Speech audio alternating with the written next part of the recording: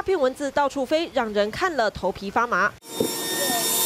美国马赛诸塞州卫生单位出动喷洒药剂杀蚊，因为当地几个城镇已经出现罕见东部玛瑙炎的传播病媒蚊。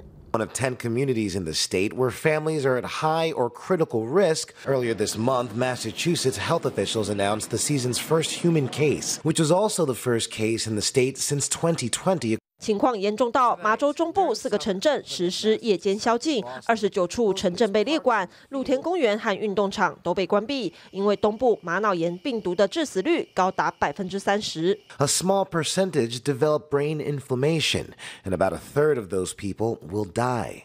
And many survivors suffer long-term neurologic damage. Key thing is there's no vaccines or treatment for triple E. 二零一九年，美国有十个州，将近四十人得病。最后十二人死亡，创最高纪录。